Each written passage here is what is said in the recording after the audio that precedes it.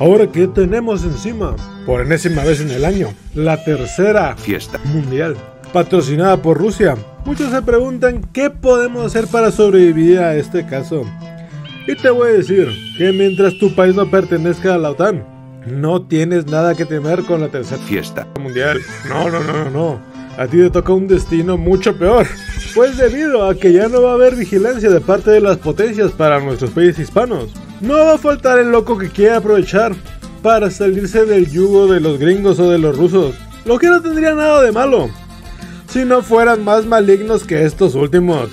Por lo que es muy probable que a muchos de nuestros países nos toque un golpe de Anarquía. para el que tenemos que estar 100% preparados.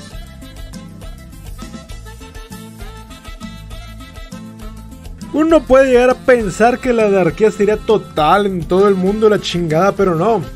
Las anarquías no funcionan, nunca han funcionado y nunca lo harán.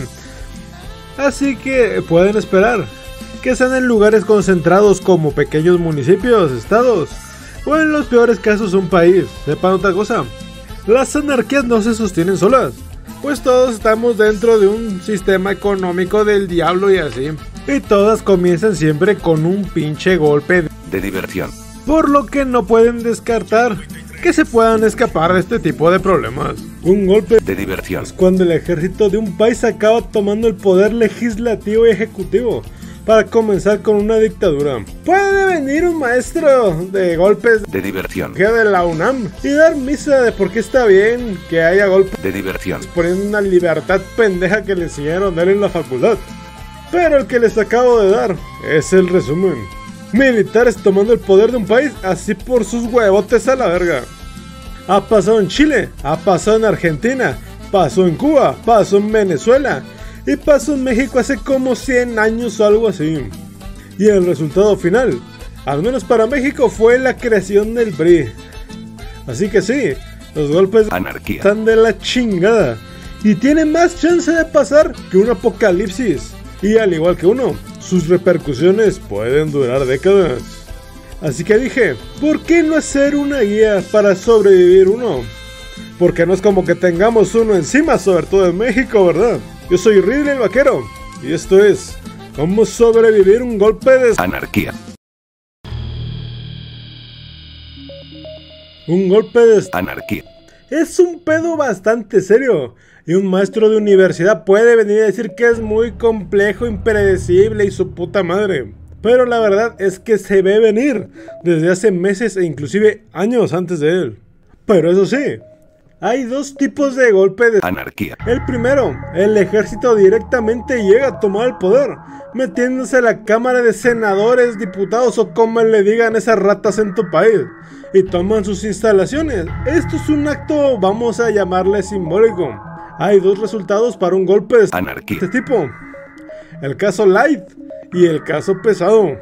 El light es el caso de Venezuela.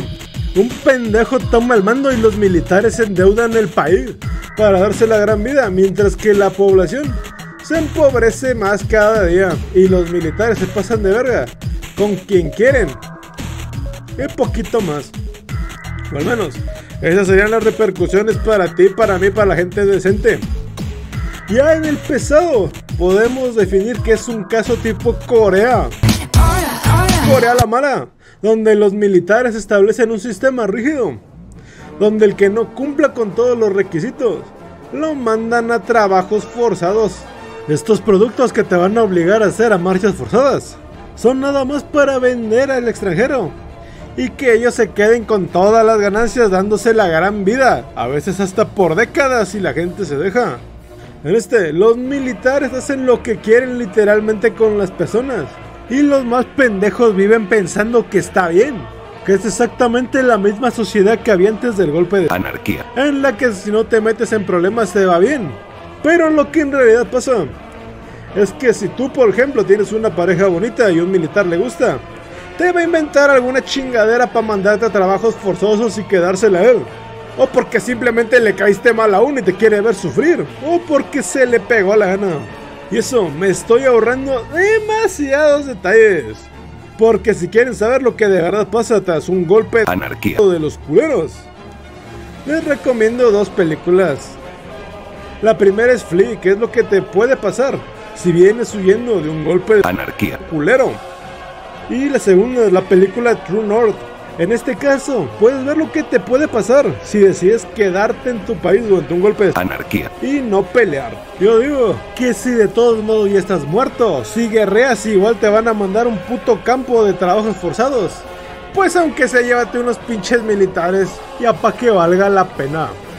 Una advertencia. Se necesita mucho estómago, sobre todo para la última. Si no lo tienen, pueden empezar con algo tranquilo. Pueden verse la rebelión en la granja, nomás imagínense que los animales son humanos y ahí tienen un poquito del contexto de lo que puede pasar tras un golpe de... Anarquía. Ya después pueden verse la de True North sin acabar traumatizados. Y ya estoy oyendo al mamón de los comentarios que dice que el video ya perdió la seriedad por hablar de películas, pero te pregunto a ti, don mamón, ¿te leerías un informe de guerra y una tesis de un doctorado que es- investigue específicamente los regímenes autoritarios tras un golpe de Anarquía. con índices, gráficas, fuentes y pendejadas. Por supuesto que no, qué hueva. Si quieres investigar seriamente al respecto, pueden hacerlo. Yo no me pongo ni que los fuera a detener. Pero les voy a decir la verdad, da una hueva. Yo les digo de estas películas porque ahí se ve todo lo que nos importa y lo que nos puede pasar a nosotros. Si quieren investigar ustedes a detalle, no hay nadie que se los pueda impedir mientras no haya golpes. Anarquía. Oh, claro. Ahora, si te falta la motivación para saber cómo sobrevivir un golpe de Anarquía. puedes pausar este video e ir directamente a ver True North y ya verás que volverás a este video corriendo y bien motivado y probablemente bien bajoneado, están cabronas. No las vean las dos el mismo día o acabarán necesitando antidepresivos. Ahora continuemos, como les dije, hay dos casos. En la primera, llegan al poder así por sus huevos. Y en la segunda, usan un títere para llegar al poder así por sus huevos. Suele ser más peligroso de la primera forma. Pues por ejemplo en Chile los militares se metían a las casas que tenían la luz prendida a matar a las personas. Y en Argentina se pusieron a matar padrecitos de iglesia por alguna razón argentina que yo no comprendo. Ya por títere. El títere se va a dedicar a desaparecer todo organismo autónomo del gobierno. Uno por uno hasta llegar con el órgano democrático que tengan. Y en cuanto el títere cumpla con esta función, el golpe de Anarquía. se va a dar. Y en cuanto el títere ya no sirva a los militares, lo van a matar para comenzar su dictadura militar. Ese mismo día, tienen que ir a las embajadas y solicitar asilo si tienen familiares con enfermedades crónicas. No pidan asilo en Estados Unidos porque van a desear haberse quedado en su país con toda dictadura. Su servicio médico es carísimo y culerísimo para ellos. Ahora imagínate, para un pinche refugiado. Pueden estar casi seguros que quien esté enfermo en su familia va a acabar muerto y dejándolos endeudados a todos. Así que búsquense otro país con mejores prestaciones. Una vez hecho eso, ya sigue las instrucciones que ellos te den y se acabó para ti. Si no te dan asilo, pues te escabulles en un puto barco, sobornas a alguien para que te deje subirte largas, que no es tan complicado. Digamos que después de un golpe de Anarquía. Tienes una ventana de tiempo para salir antes de que inicie la dictadura militar. En Venezuela hubo gente que esperó hasta el último minuto y ahora se tienen que salir por cuenta propia por no aprovechar esa ventana. Así en cuanto comience, en cuanto se vean los tanques en el Congreso, salgan de su país.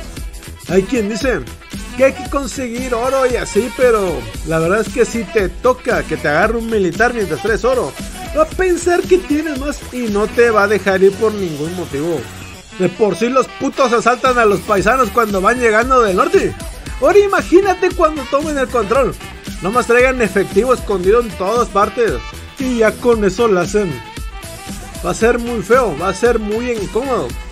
Pero mil veces peor es vivir en una puta dictadura, así que vale la pena esto. Una vez que hayan escapado, siguen las reglas y se acabó el asunto. Pero, si ustedes se quieren quedar, sepan una cosa, no se pueden quedar sin pelear. No porque no puedas, sino porque ve True North y vas a saber por qué, chinga. Pero si no te la quieres ver, ahí te ve el resumen. A los viejos los van a matar, a los hombres los van a mandar a trabajar hasta la muerte. A las mujeres las van a violar hasta que se aburran. Y así es como van a hacer esto. Primero, van a aprobar el servicio militar obligatorio para todas las mujeres. Precisamente para abusar de ellas y que precisamente por ley tengan que ir ellas mismas. Respecto a los ancianos, van a dejar de dar medicinas para que estos se mueran solos. Y con los hombres, hay dos. Van a ir por ti en una camioneta de la Guardia Nacional o directamente del ejército. A arrestarte por alguna mamada que no hiciste. Te van a llevar al campo de concentración a trabajar hasta que te mueras de agotamiento, sed o hambre. Y la segunda opción es que van a ser los narcos los que te levanten cuando salgas a la calle. Y los putos soldados solo miren para otro lado mientras estiran la mano. Y en lugar de trabajar, vas a cosechar droga hasta que te mueras de cansancio por el sol. ¿Quieres saber los detalles? Vean True North, chingada madre, vean True North. A estas alturas, han de estar diciendo algo como pinche vaquero lo que quiero sobrevivir.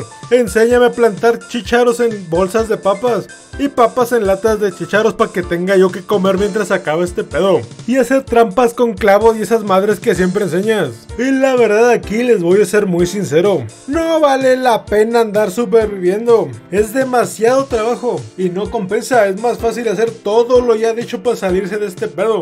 Debido, principalmente, a que por mucho que siembres, por muchas trampas que pongas, por mucho que cases, no puedes hacerle frente a un golpe de anarquía. Debido a que este problema no es como una supervivencia, es algo sistemático. ¿A qué me refiero con esto? Pues para simplificarlo el pedo está más o menos así. En una supervivencia normal, incluso apocalíptica, el entorno es neutral, está en su pedo y poco más, no le importa que estés ahí o no. Y a lo mucho, te tienes que enfrentar uno que otro loco que tendrá máximo 10, 15 compañeros de los que te puedes encargar sin tantos problemas. Pero en este caso, el entorno sí está en tu contra, pues la sociedad ha sido tomada por un enemigo que está en todos lados y un enemigo con grandes números. Más o menos el estimado es el número de tropas de su país y eso echémoslo un poquito menos por los que tampoco le quieran entrar ese pedo. Pero sigue rondando más de un millón, un millón del que no podemos ocuparnos, ni siquiera estando escondido en medio de la sierra.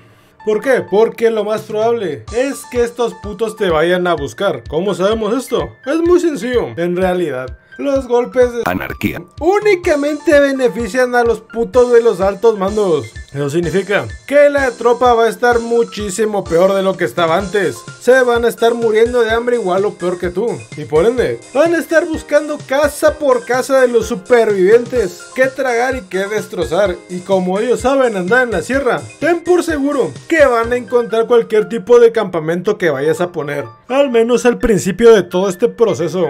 Así que, segundo aviso, no compensa estar superviviendo en este desmadre. Si esperan una vida más o menos decente en este pedo, se tienen que pasar una supervivencia bélica activa o lo que es lo mismo, pasarse a la ofensiva y combatir contra estos cabrones. El problema es que yo no sé si sea legal que les enseñe el arte de la guerrilla que yo manejo.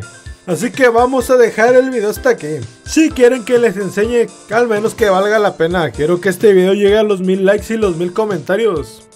O hagan un descarado soborno en el link que están viendo ahí para que les traiga la parte ofensiva de cómo sobrevivir ante un golpe de Anarquía. y ya sin más que decir, yo soy Ridley el Vaquero recordándoles que salgan del país en cuanto vean a los putos estos rodear el Senado. Salen corriendo a las embajadas. A la inglesa se admiten enfermos, córrenle.